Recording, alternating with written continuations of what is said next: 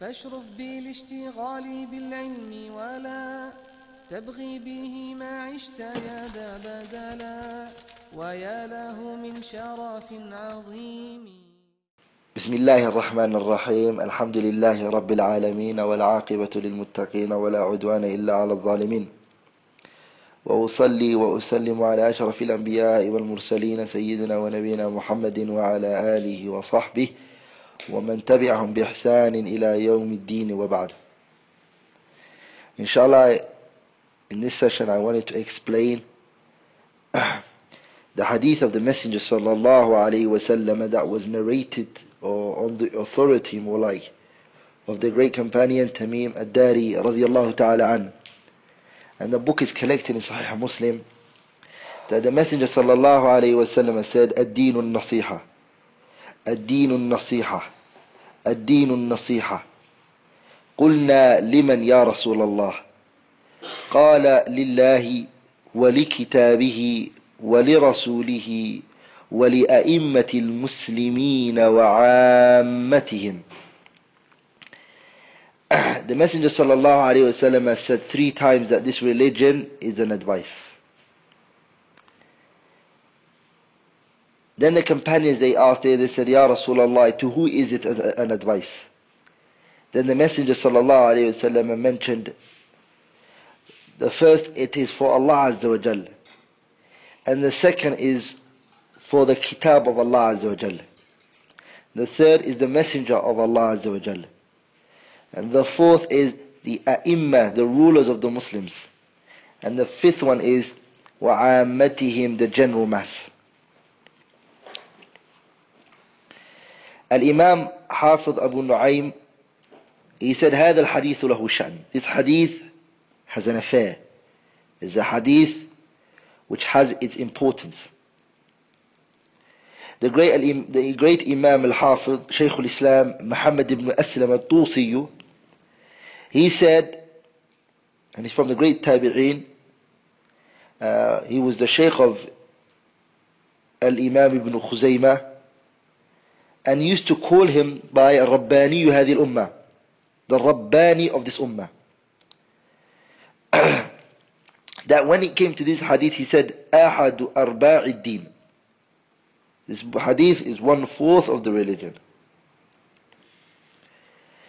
And Imam al-Khattabi, the author of the Kitab Ma'alim Sunan, he said in regards to the word nasiha what it means. He said, كلمة يعبر بها عن جملة. It's a terminology, or it's a word that is expressed meaning a lot of things, that it encompasses many things, which is هي إرادة الخير it's wanting good للمنصوح له to the one you're advising this is very important that we know the advice is that you, when you're advising somebody you want for that person good he also said وأصل النصح the originalness of the word نصح means al-khulusi is to purify or it is to make based to distinguish as they say nasahtul asala I cleared the honey إذا خلصته من الشم when you take away from it all the other bits that are in it what you have now done is you've cleaned it and the word nusх is that Abu Amr ibn Salah when it came to this hadith, he put a very powerful explanation on it. He said, النصيحة كلمة جامعة.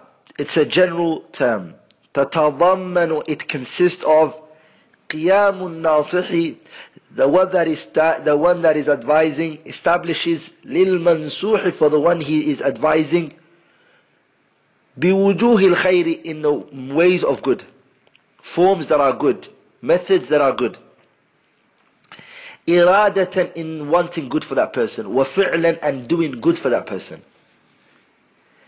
فالنصيحة لله تعالى نصيحة advice for Allah Azza wa Jalla, what does it mean? It means توحيده is that you singularize Allah subhanahu wa ta'ala in ibadah.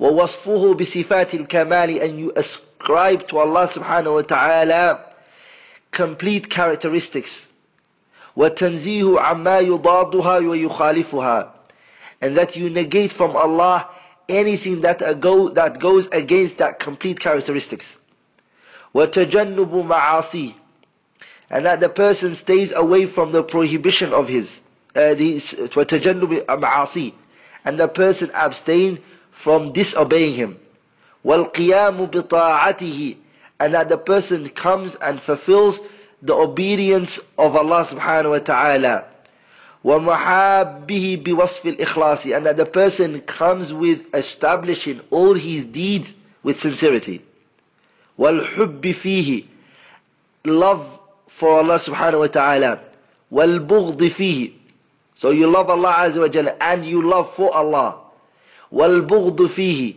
and you hate for the sake of Allah وجهاده and that you fight من كفر به تعالى anyone who disobeys in him وما ضاها ذلك والدعاء إلى ذلك والحث عليه and anything that opposes that والدعاء إلى ذلك and calling to that والحث عليه and urging that that is what is meant by advice for Allah subhanahu wa ta'ala nasiha for the kitab of Allah is al-iman bihi, believing in it. وتعظيمه, honoring it. وتنزيهه, purifying it. وتلاوته حق تلاوته, reciting it the way it should be recited. والوقوف مع أوامره ونواهيه and standing over the orders and the prohibitions والتفهم علومه وأمثاله and understanding the knowledges and the examples in it. وَالتَّدَبُّرِ آيَاتِ and pondering on the verses. وَالدُّعَاءِ إِلَيْهِ and calling to it. وَالذَّبُّ التَّحْرِيفِ الْغَالِينَ and deflecting the alternation that is done by those who are going overboard with the Quran. وَطَعْنِ الْمُلْحِدِينَ عَنْهُ and also deflecting from it the criticism that comes from the disbelievers. وَالنَّصِيحَةُ لِرَسُولِهِ The nasiha that is done for the Messenger sallallahu alayhi wasallam is what? الإيمان به is to believe in him alayhi salatu wasalam. وبما جاء به and that which he came with. وتوقيره وتبجيله It's honoring him and respecting him. والتمسك بطاعته and holding on to his obedience. وإحياء سنته reviving his sunnah واستنارة علومها ونشرها is to bring life and revive his knowledge and spreading it ومعاداة من عاداه وعاداها hating the person who hates him صلى الله عليه وسلم and that which he came with وموالاة and taking an ally and loving Man walahu, anyone who takes the Prophet as an ally, wa walaha, and that which he came with. وَالتَّخَلُّقُ بِأَخْلَاقِهِ and coming with the manners in which he sallallahu alayhi wasallam came with. وَالتَّأَدُّبِ بِآدَابِهِ having the etiquettes he had. وَمَحَبَّةُ آلَائِهِ loving his blessings. Sorry, وَمَحَبَّةُ آلِهِ loving his family. His family. وصحابته and his companions ونحو ذلك and, and the likes of that. The advice that is done for the school, the rulers is معاونتهم على الحق. This is النصيحة لأئمة المسلمين. The nasiha that is done for the, the rulers of the Muslims is معاونتهم على الحق is to, to support them on the haqq. وطاعتهم فيه and it's to be for them to be obeyed in the haqq in which they come with وتذكيرهم به and it's reminding them for, uh, with it وتنبيههم في رفق ولطف and it's alerting them with things in a very subtle manner ومجانبة الوثوب عليهم والدعاء لهم بالتوفيق and to abstain from what in speaking harsh and in a wrong manner وَالدُّعَاءِ لَهُمْ And making dua for them that Allah gives them the ability to stand up for the haqq. What about the advice for the general mass? والنصيحة لعامة المسلمين إرشادهم إلى مصالحهم is to guide the people to that which in it is their benefits. وتعليمهم is to teach them أمور دينهم ودنياهم is to teach them their worldly and their hereafter affairs. وستر عوراتهم and is to cover their mistakes and their errors. وسد خلاتهم is to cover for them their errors. وَنُصْرَتُهُمْ عَلَىٰ أَعْدَاهِمْ is also to support them over their enemy. وَذَبُّ عَنْهُمْ and is to defect harm from them. وَمُجَانَبَةُ الْغِشِّ غَشِّ وَمُجَانَبَةُ الْغِشِّ is to abstain from deceiving them. وَالْحَسَدِ لَهُمْ having jealousy and and hate and uh, envy and having jealousy. Hasad is jealousy to them. وأن يحب لهم ما يحب لنفسه and to love for them what you love for yourself ويكره لهم ما يكره لنفسه and is to dislike for them what you dislike for yourself وما شابه ذلك and anything that resembles that انتهى ما ذكره that was the call of Amr ibn Salah rahimahullah the great scholar what you have to also remember is ومن أنواع نصحهم and from the things that are advising them is نصحهم بدفع الأذى والمكروه عنهم is to advise the people بدفع by deflecting from them harmful things and that which will hurt them وإيثار فقيرهم وتعليم جاهلهم it's to help and support and show compassion to the poor one and teach the ignorant one ورد من زاغ منهم it's to bring back to the haq the one that diverts from the haq of them في قول by speech أو عمل or through your actions بالتلطف by being tend by having soft speech في ردهم إلى الحق when bringing them back to the حق and not speak to them harshly والرفق بهم في الأمر بالمعروف والنهي عن والنهي عن المنكر and is to show softness and tendency into in the way you speak to them when calling them to the good and prohibiting them from the evil. Your intention for all of this is مَحَبَّةً لِإِزَالِ فَسَادِهِمْ That you, you only want from all of this that the evil that is in them goes. Even if that evil will go بِحُصُولِ ضَرَرٍ لَهُ فِي دُنْيَاهُ Even if that good, their religious thing will benefit them, even if it means that it will bring harm to their worldly affairs to you. كما قال بعض السلف as some of the scholars from the Salaf used to say. So you will advise the people the good. You will prohibit them the evil. And you want for them and you love for them that the harm goes away from them. And that they are not in any way in a harmful way. In their religion of course. Even if that's going to cause a harm for your, your worldly affairs, you still don't mind. ولذلك the Salaf they used to say وددت I wish أن الخلق أطاعوا الله that the servants and the people were to obey Allah وأن لحمي قرض بالمقاريض even if that means that my skin and my flesh will be cut up with a metal rod وكان عمر بن عبد العزيز يقول عمر بن عبد العزيز used to say يا ليتني عملت فيكم بكتاب الله وعلمت وعلمتم به فكلما عملت فيكم بسنة وقع مني عضو حتى يكون آخر شيء منها خروج نفسي ibn Abdul Aziz is saying if everyone was to act upon the book of Allah and they were to act upon the sunnah of the messenger sallallahu alaihi wasallam after teaching you and after advising you, every time he advised you on the Quran and every time he advised you on the Sunnah, that one of his limbs will become, it will drop from his body, he would, and that would mean that every person he guides, some parts of his body will perish from him, even if that means that his soul will finally leave, he will love it. This is a nasiha and advice. A person who wants the best for you, even if it means that his soul will be harmed, he doesn't mind. As Allah said about the messenger, لَعَلَّكَ بَاخِعُ النَّفْسَ كَأَلَّا يَكُونُوا مُؤْمِنِينَ Oh Muhammad, you will sacrifice your soul for these people, for them to become believers. هذا هو ناصح أمين.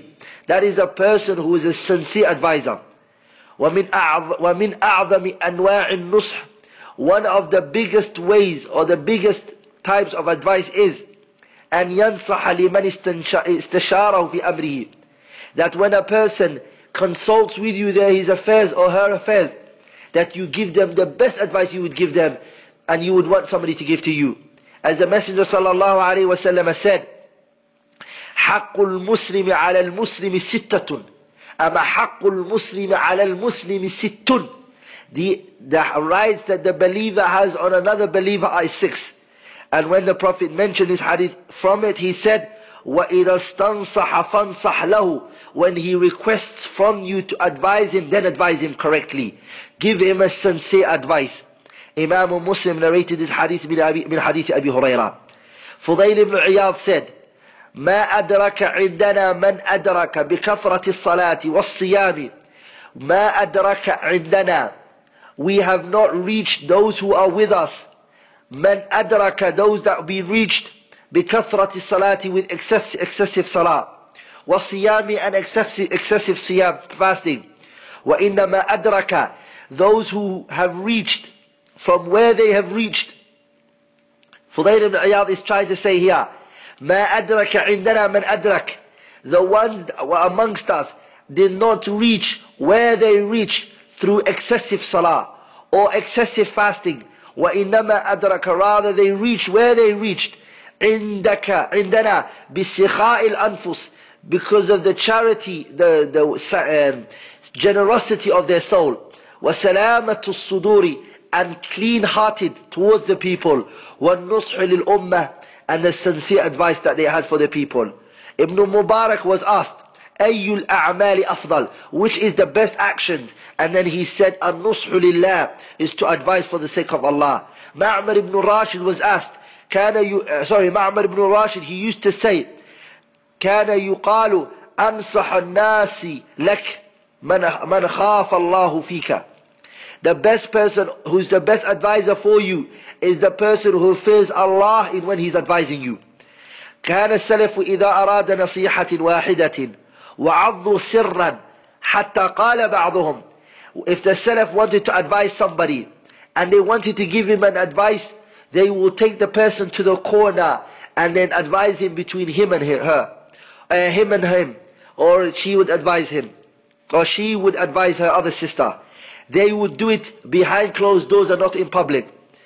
ولذلك they used to say من وعظ أخاه anybody who gives a reminder who speaks to his brother advises his brother فيما بينه وبينه between him and him فهو فهي نصيحة that is an advice ومن وعظه على رؤوس الناس but anyone who advises him in public فإنما وبخه that person embarrassed him he put him down satar, uh, that person, strip that person from their reputation. And that is not called an advice. Fudayl ibn Iyad used to say, Al-mu'minu yustaru wa yunsahu. The believer is, his secrets are concealed and he's advised. Wal-fajiru, the wrongdoer, yutaku wa yu'ayyaru. He is embarrassed and he's exposed. We have to remember how important that the advice is done and the conditions that have been put to it. I advise myself and I advise everyone that we go back and we study the book written by the great scholar Ibn Rajab al-Hanbali the farq, the difference between al-nasihat wa ta'yir the difference between advising somebody and the difference between exposing and embarrassing somebody. What are the differences between the two? We are in very much need now, especially at this time when people think that it's an advice when they expose people in public or they bring people's mistakes out in the open. سبحانك اللهم بحمدك أشهد أن لا إله إلا الله أستغفرك وأتوب إليك